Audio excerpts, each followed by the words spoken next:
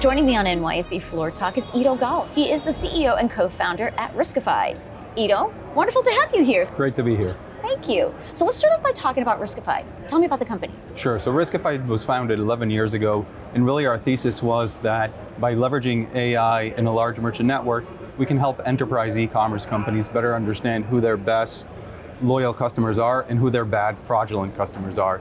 And by helping them understand that, we can help them increase sales to their good customers and block transactions from their bad customers.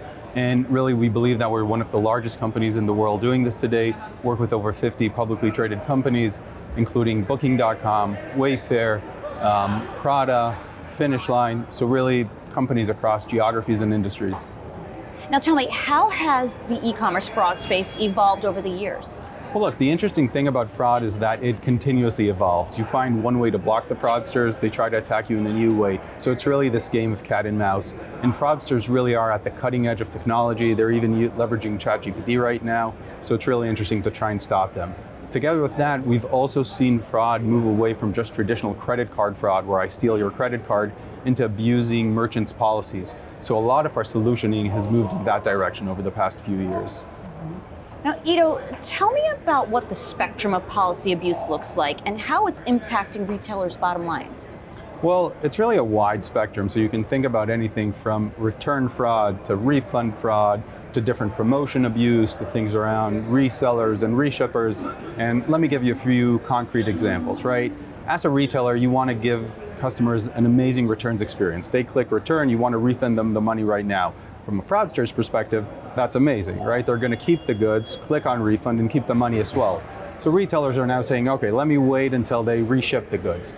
Now the fraudsters are saying, okay, I'm going to ship an empty box, a box filled with rocks, or a box with counterfeit goods. So there's always this dynamic between the retailers and the fraudsters. Um, another example I like to share is around refunds, right? Most merchants don't understand it, but there's a massive amount of fraud in the refund space. Okay, fraudsters have figured out then easier that it's easier to just claim, hey, I ordered something and never received it, than it is to steal your credit cards. And what we see with the merchants that we work with is that 10 to 20% of the refunds are actually fraudulent. And when you think about the scale and size of e-commerce, you know, that's easily over 100 billion in dollars in loss. So really exciting opportunity there. Eido, tell me, how do you work with the merchants that come to you with this problem? Let me give you an example with one of the merchants we work with, Ring, the security electronics merchant. So they were having a huge issue with returns. They were getting a bunch of empty boxes. It was shifting around from different states, from different geographies, and it was hard for them to pinpoint who the bad actors are. And they were trying to understand in order to block them.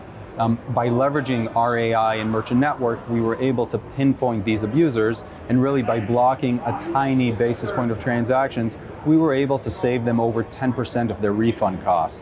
Um, so that was really an amazing outcome, and it's something that we're seeing again and again in the refund and return space. All right, now Eido, tell me what's next for Riskified? What exciting things are you working on?